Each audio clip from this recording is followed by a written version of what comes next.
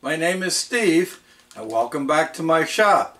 And this is Shark Bits episode number 27. And in this episode I've got a few new tool purchases. I've got some material that I just got in and I'm going to be introducing and sharing as the feature for this uh, viewer project that I'm going to be starting to work on. So let's get started. First thing I want to share with you is this microscope. It's a stereo microscope, got two eyepieces. It is a 5x and a 10x power, made in Japan. I picked it up used. It had been listed. They dropped the price on it, did a make an offer, and I made an offer that they accepted. I'm thrilled with it so far. My primary reason for wanting it was so that I could check cutting tools, the wear on cutting tools, carbide inserts and so on to check for damage on carbide inserts. And I've already used it. I had a, a diamond that's used in a hardness tester and I wasn't sure whether it was any good or not. It came in a lot of stuff that I had picked up and I was able to determine that in fact it was either brand new or had never been used because it was absolutely perfect. Up to this point, I've been carrying that around for several years and I was never able to determine whether it was any good or not. By determining it was good, it found a new home. I offered it to another YouTuber who had just gotten a hardness tester that was missing the diamond and hopefully it'll work out for him. So this is my new, to me, Parco scientific microscope. I picked up a couple of new tools. I've been adding to my 5C collets and expanding into the metric collets and so I just got a 8 millimeter 5C collet so now I have 6, 8, 10 and 12 I'm on my way to uh, a metric collet set. the next thing that I picked up was a tool holder that takes the CNMG type inserts and I had been wanting one for a while. I'll take the bring the camera in a little bit closer and show you that. I have light duty tool holders for uh, the carbide tips and they were fine on my 6 inch Atlas lathe. But now that I've got the 10 inch lathe I can do a little bit heavier cuts. Wanted a little bit heavier duty cutter. So I picked this up. This again was a Shars and I also picked up a few extra inserts for it the other thing that I picked up, which is of no particular consequence, is an extra tool holder that will fit a, um, a boring bar. I have quite a few of the standard holders, but this one has the V-groove in the bottom of it to take the round boring bar. I have one, but I I like to keep a couple of boring bars set up so that I don't have to keep changing it over each time I need to use a different size boring bar. The next tool that I picked up, and I think that this is only the second Starrett tool that I have ever purchased new. I've got quite a Starrett collection of precision instruments, but this is an edge finder and I have several different edge finders but I don't have any with the small 200 thousandths pilot on them. So this was on sale and I decided to pick it up. Now that I've got the DRO on the uh, mill the edge finder has become a much more valuable tool. And I think that's it for the new tools now let's look at some material for some new projects. One of the last jobs that I did on the mill, I could have used a set of low profile hold down clamps. And there's a a book, a machine shop project book by Harold Hall. There's a plan for them. Matter of fact, Emma from Emma's Spare Room Workshop has a video on building them. And I got a piece of 4140 steel to make those clamps out of. So that's going to be one of my next projects. That'll be coming up pretty soon. The other project that I've got in mind, another tool making project, is to build a ball turner. I've got a, another project that I want to do that I need to turn a, a ball for a handle. And I decided that I'd like to get a ball turner. So I got a piece of material, I've got a plan in mind see if I can get it out of here. And this is a piece of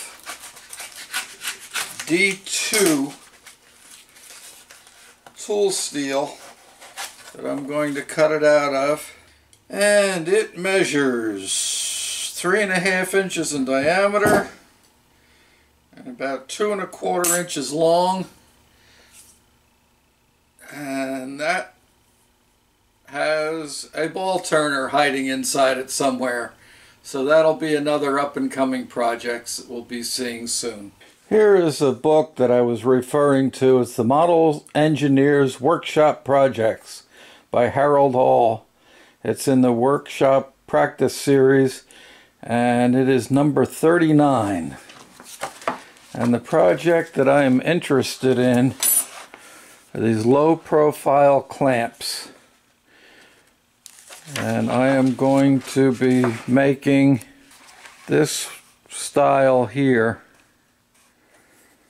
the T-slot clamp. And so I'll be making that to fit my uh, the T-slots on my mill. So that's an up and coming project.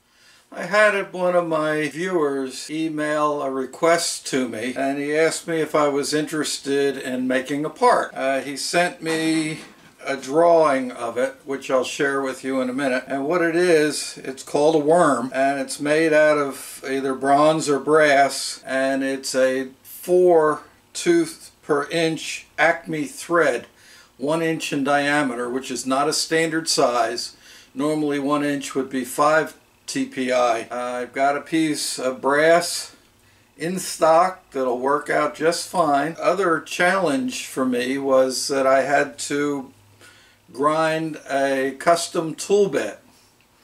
I looked into purchasing a, a carbide insert for number 4 Acme and it was worth more than the job.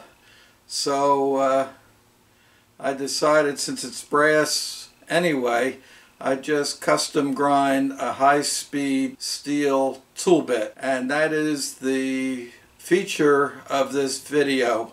I used my new Shars tool grinding fixture and set it up on the surface grinder and ground the tool bit so I'll be sharing that with you. So let me bring you in and I'll show you the part that I'll be making.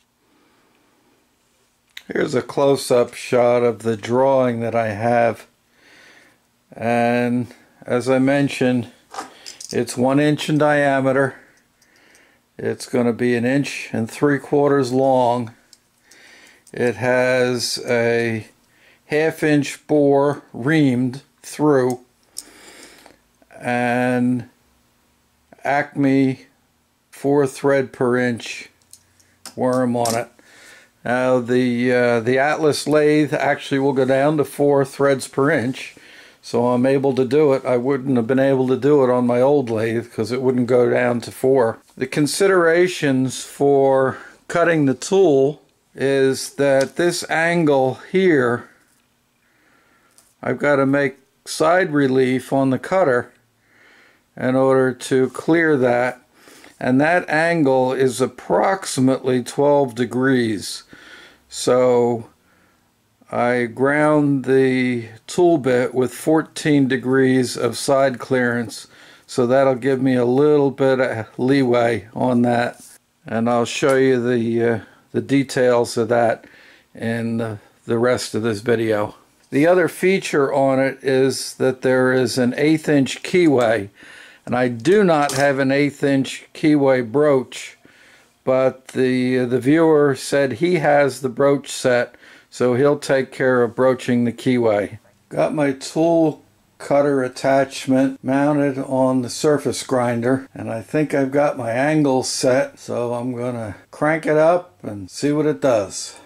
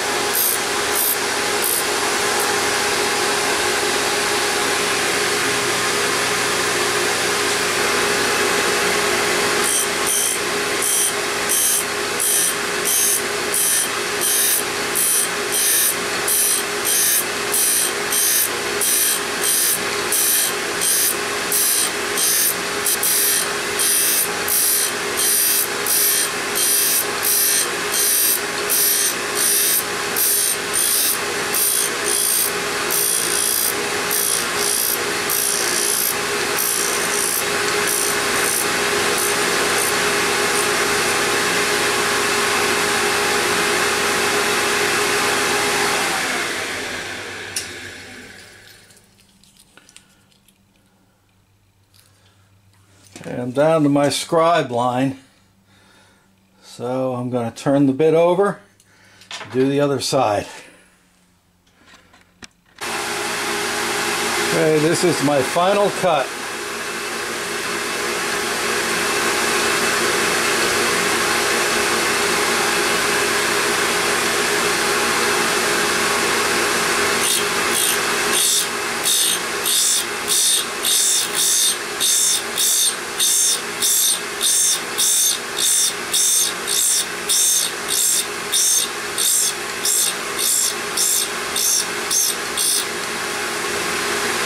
Okay, that's it.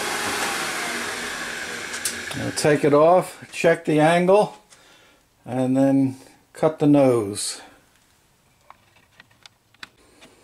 I've got my thread gauge here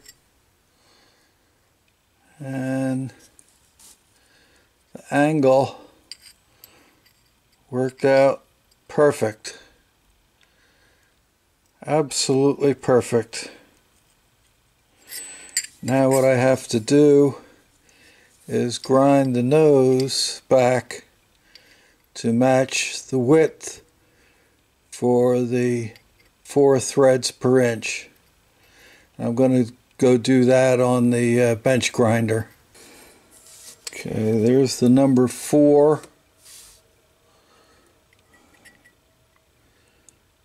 And